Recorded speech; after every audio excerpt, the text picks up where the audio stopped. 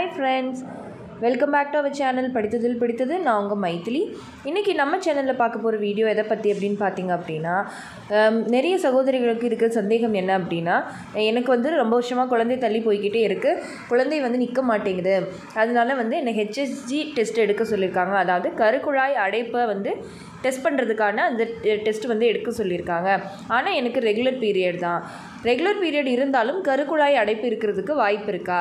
அப்படின்னு சொல்லிட்டு நிறைய சகோதரிகள் கேட்டிருந்தாங்க. அதே மாதிரி கருக்குழாய் அடைப்பு நீக்கிறதுக்கு நம்ம என்ன டிப்ஸ் ஃபாலோ பண்ணலாம் அப்படிங்கிறத பற்றியும் இந்த வீடியோவில் நான் சொல்ல போகிறேன் இந்த டிப்ஸ் வந்து உண்மையாகவே ரொம்ப ரொம்ப ஒரு பவர்ஃபுல்லான ஒரு டிப்ஸு ஸோ கண்டிப்பாக நீங்கள் ட்ரை பண்ணி பார்த்தீங்க அப்படின்னா உங்களுக்கு நல்ல ஒரு பலன் கிடைக்கிறதுக்கு நிறைய சான்சஸ் இருக்குது இப்போ வாங்க நம்ம என்ன அப்படிங்கிறத பார்க்கலாம்.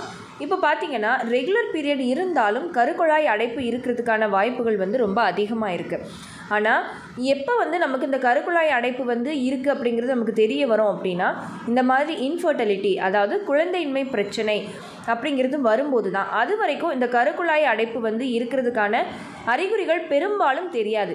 ஆனால் மேக்ஸிமம் வந்து எப்படி தெரியும் அப்படின்னு பார்த்தீங்கன்னா இந்த irregular பீரியட்ஸ் இருக்குது அதுக்காக irregular பீரியட்ஸ் இருக்கிற எல்லாருக்குமே கருக்குழாய் அடைப்பு இருக்குமா அப்படின்னு பார்த்தீங்கன்னா அதுவும் கிடையாது. இப்போ நிறைய எவ்வளவோ சகோதரிகளுக்கு வந்து irregular பீரியட்ஸ் இருக்கும். போய் டெஸ்ட் பண்ணி பார்த்தா அடைப்பு இருக்காது.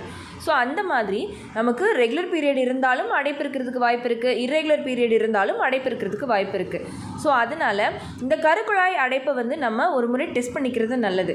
ஒருவேளை அடைப்பு இருந்துச்சு அப்படின்னா அதுக்கு நம்ம என்ன மாதிரியான ஒரு பவர்ஃபுல்லான டிப்ஸு ஃபாலோ பண்ணலாம் அப்படின்னு பார்த்தீங்கன்னா இது வந்து ஒரு ஹோம் ரெமெடி மாதிரி நம்ம பண்ணிக்கிறது.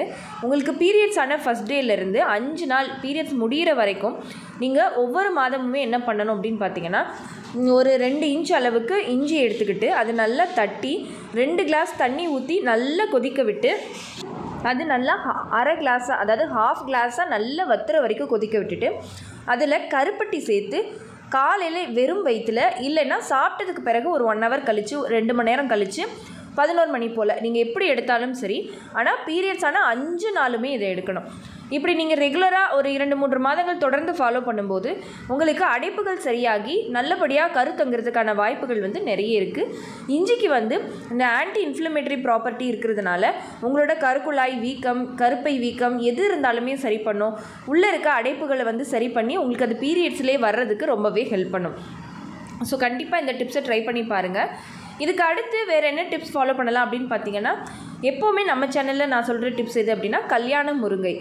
இந்த கல்யாண முருங்கையும் ரொம்ப ரொம்ப ரொம்ப பவர்ஃபுல் நிறைய பேருக்கு ரெண்டு டியூபு பிளாக் ஆகியிருந்தவங்களுக்கு கூட அந்த அடைப்பு ஃபுல்லாக நீங்கி அவங்க சீக்கிரமாக கன்சீவ் ஆகியிருக்காங்க.